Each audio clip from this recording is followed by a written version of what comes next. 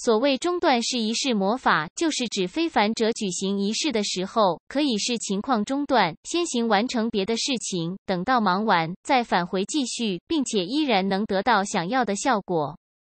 这是仪式魔法上千年发展中衍生出来的技巧。毕竟不少高阶的仪式需要的步骤众多，可能得花费一个小时、两个小时，甚至半天的时间才能完成。过程中很难保证没有别人打扰，没有意外发生。经过一位位先辈的血泪教训，经过一次次失败的反馈，能够中断的仪式魔法在高层次成为主流，并间接影响到了低阶的部分。但能够中断不表示想什么时候中断就可以什么时候中断，想怎么中断就能够怎么中断，必须遵循神秘学的理论，掌握对应的技巧，否则仪式失效是无法逃避的结局，甚至还会引来恐怖的反噬。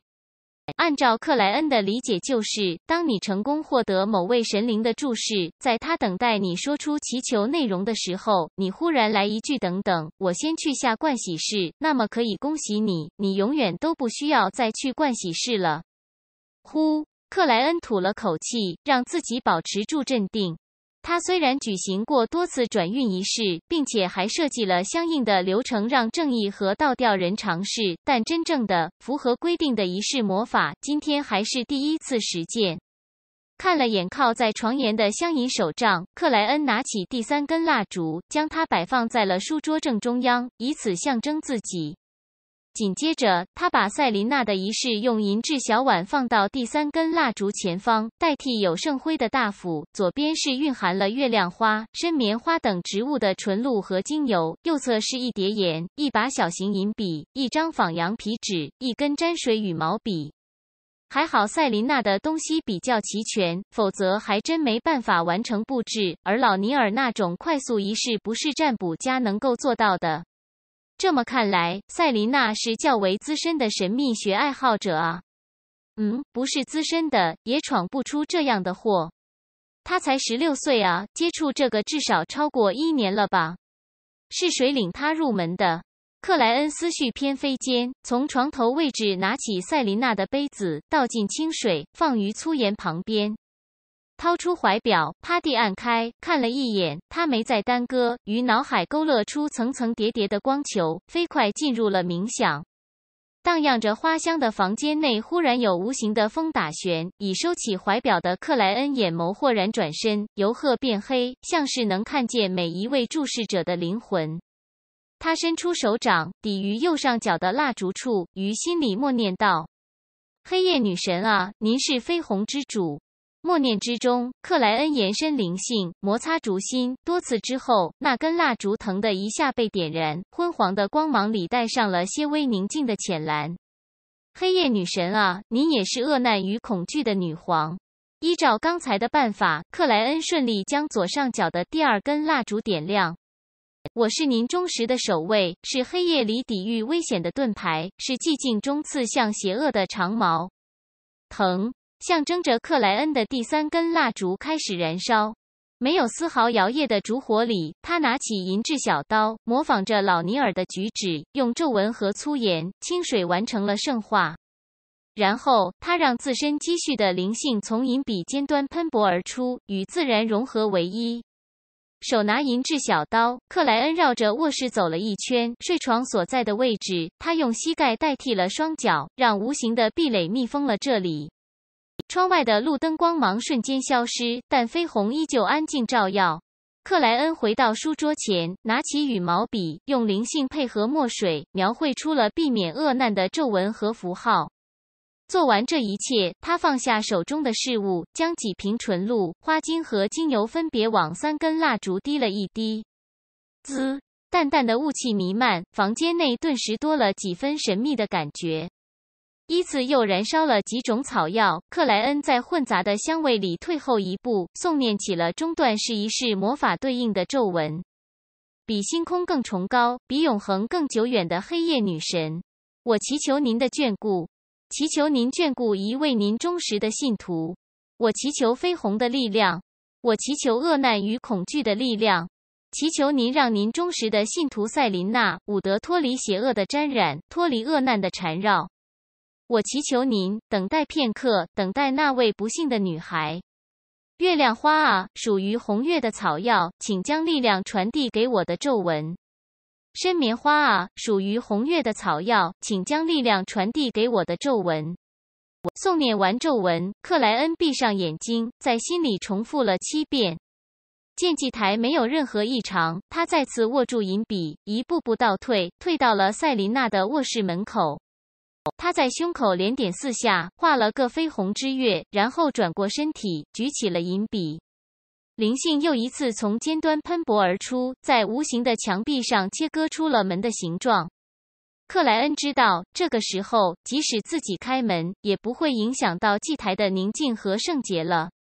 他掏出有枝蔓花纹的银色怀表，核对了时间，预言起后续的流程。二楼起居室内，身体轻微颤栗着的伊丽莎白时不时抬头看一眼壁中，在两盏煤气灯的光芒里默算着时间。差不多了。她无声低语的同时，侧头望了眼酒红色长发的活泼少女。对方酒窝很深，笑容灿烂，和周围的每一位朋友都能聊得很好。可越是这样，伊丽莎白就越是感觉恐惧。镜中那阴冷可怖的赛琳娜似乎一直存在于她的脑海，难以遗忘。不能再等了，必须行动了！伊丽莎白豁然站起，在众人诧异的目光里，结巴着笑道。赛琳娜，我我有个惊喜给你，给你，你和我出去一下。真的吗？你不是送过生日礼物了吗？赛琳娜将镜子反扣拿好，颇感诧异的跟着起身。惊喜是是不会是不会有任何任何征兆的。伊丽莎白觉得自己简直毫无表演天分。她没有再说，当先走向了起居室门口。赛琳娜笑容疑惑的跟在后面。梅丽莎看着两位好友离开，眉头不自觉皱了起来。今天的伊丽莎白好奇怪，他和克莱恩见过面后就更加奇怪了。他刚才突然跑出去，说是急着到盥洗室，可为什么表情会显得那么慌张？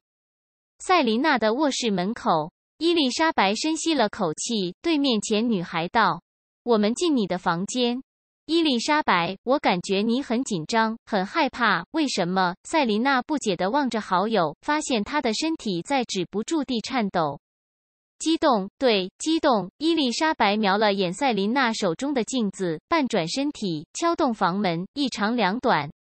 为什么敲门？赛琳娜更加茫然了。吱呀，她的卧室门被打开了。身穿黑色燕尾服、头戴半高丝绸礼帽的克莱恩出现于两位女孩面前。惊喜，这就是惊喜！赛琳娜嘴巴半张，脑袋一片迷糊。就在这个时候，克莱恩忽然探手抓住她的腕部，将她拉进了房间，看得伊丽莎白愣在了原地。与此同时，克莱恩银笔点出，喷薄灵性飞快弥补了切割出来的门形通道。无形的灵性之壁再次密封了房间，将赛琳娜的尖叫隐藏在了里面。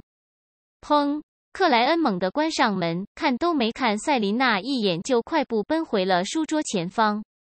酒红色长发的少女停住尖叫，抬起脑袋，环视了房间一圈。她的目光迅速变得阴冷，皮肤一点点苍白，食指飞快长出了白森森的尖锐指甲。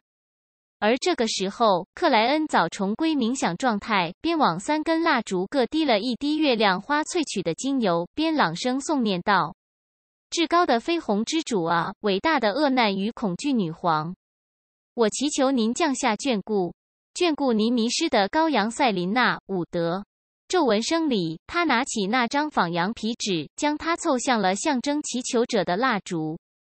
呜！他感受到了背后的阴冷之风，感受到了沉重的力量袭来。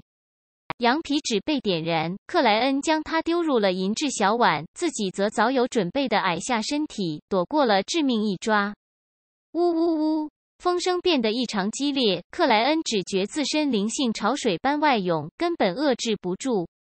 他看见银质小碗内的羊皮纸燃烧出了宁静的深黑，听到身后有重物坠地的动静，扑通、砰当，几乎没有间隔的两道声音里，一缕缕黑绿的无形气体投入了银质小碗，消失在了那片幻觉般的深黑里。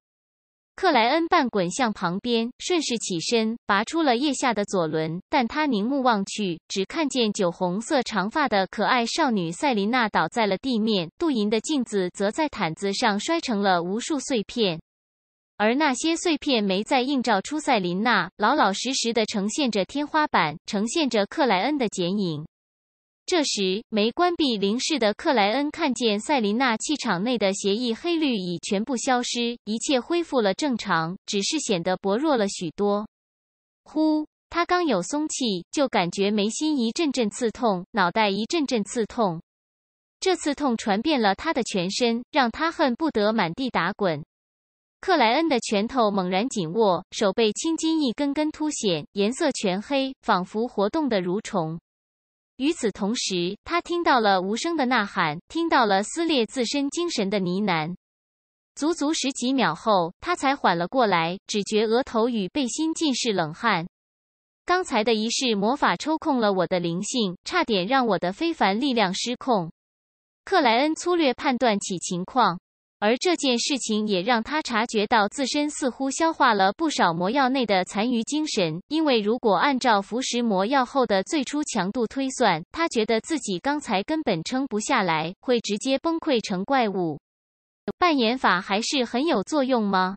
克莱恩轻敲眉心，抹了把汗，他转身面向祭台，在胸口点了四下，朗声开口道：“赞美女神。”接着，他依次熄灭蜡烛，快速收拾好祭台，随意将物品重新放回书桌后，他用银笔解除了密封的灵性之墙。